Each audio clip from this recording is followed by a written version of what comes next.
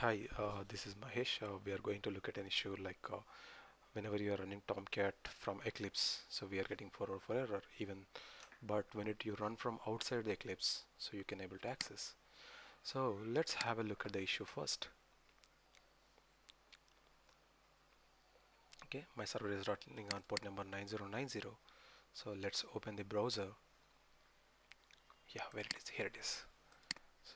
Let's access it. Localhost colon 9090 I'm getting 404 so how we can resolve this? Let's go to the servers. Double click on the server. So here you will find server location. So you need to select use tomcat installation. Then save it. Now restart the server so it will take some x milliseconds to restart. So once it's restarted go and refresh this browser. So that's it. So now we are able to running the tomcat and we are able to access it from the browser. So thank you for watching